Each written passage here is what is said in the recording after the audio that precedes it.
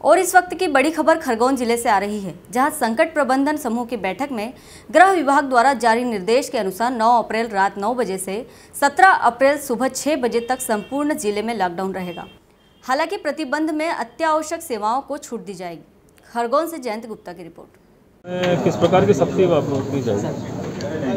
अभी हाँ खरगोन जिला में कल शाम को 9 बजे से 17 सुबह 6 बजे तक लॉकडाउन घोषित है, क्योंकि उसी दिन शनिवार है और अगले दिन रविवार है। रविवार और शनिवार को भी मिल के उन्नीस सुबह छः छः बजे तक लॉकडाउन प्रभावशील रहेगी।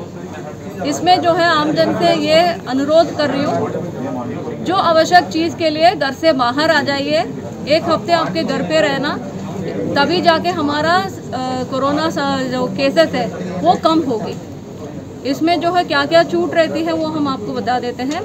जैसे रोज़ की दूध सब्ज़ी सब्ज़ी का दुकान वगैरह है ये हम अलाउ कर रहे हैं। किराना दुकान भी आपके हर एरिया में एक एक दुकान जो है खोलने के लिए अलाउ कर रहे हैं। सभी शासकीय ऑफ़िस खुला रहेगा बैंक्स खुला रहेगा बीएसएनएल ऑफ़िस हो एनटीपीसी ऑफ़िस हो जितने भी सरकारी ऑफ़िस है ये खुला रह सकती है।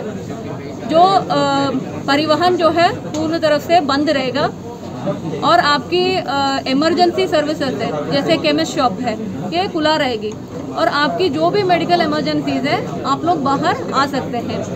प्रोक्योरमेंट मतलब उपार्जन जो है चालू रहेगा। टीकाकरण चालू रहेगा। जो कोविड का टीकाकरण कर रहे हैं वो चालू रहेगी। यात्री बसों यात्रियों का ट्रांसपोर्टेशन तो बंद है अभी।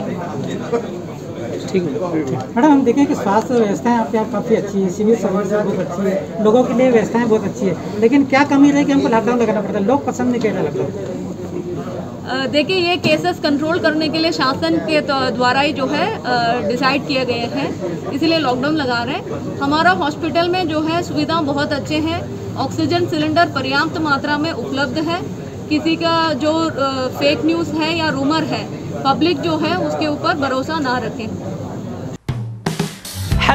आप देख रहे हैं हमारा channel S W twenty four news हमारे सारे वीडियो सबसे पहले देखने के लिए आप हमारे चैनल को सब्सक्राइब करें और पास में लगे बेल आइकन को दबाना बिल्कुल भी ना भूलें।